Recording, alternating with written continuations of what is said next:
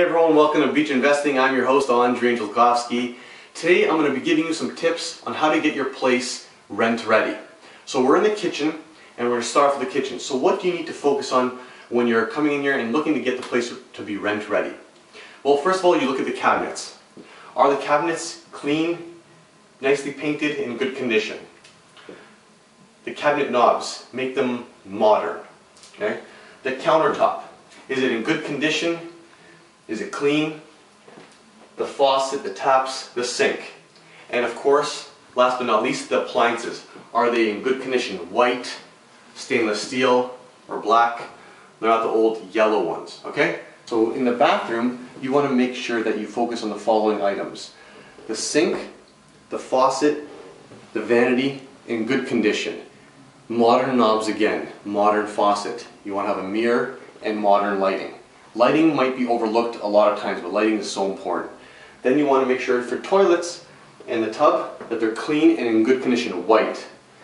Keep the toilet seats down. The tile in good condition.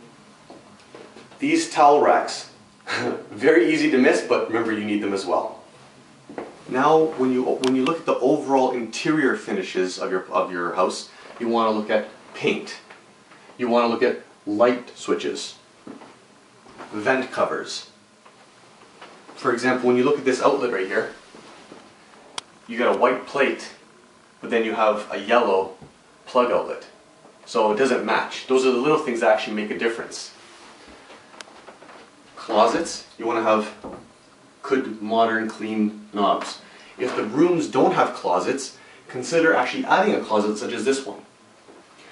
Lights, to make them modern. Sometimes fans are actually very attractive and in demand in the beaches because there's nice breezes. Windows to be cleaned and in good condition, working condition, not the ones that are glued on or painted stuck. Right, so when you're walking into the house, what's the first thing that you touch? It's the doorknob. Make sure it's secure, it's stable, and it works. You don't want someone coming in there fiddling thing and they feel loose because then they'll feel an, a security issue. Okay, so make sure that isn't intact. So we'll walk out and I'll show you what else. When you come out to the front, you want to have proper lighting.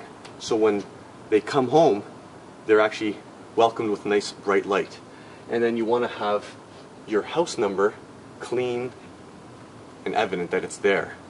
Alright? And the other, other things you have, to, you have to be aware of is the downspouts make sure they're cleaned. Make sure your yard is cleaned. So if you look out and you want to make sure that your shed or your garage is cleaned out. But then we come into the basement. What you should do is check your hot water tank, make sure it's flushed out if it hasn't in a while.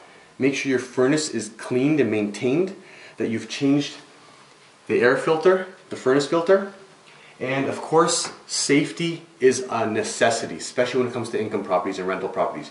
You have to make sure that, that you have a fire extinguisher on every single floor, and especially near the kitchens. And of course, the carbon monoxide detectors, which are right there, and smoke detectors. So safety is number one. Thanks for listening, and if you want a checklist, let me know, email me, call me, and I'll be happy to share that with you.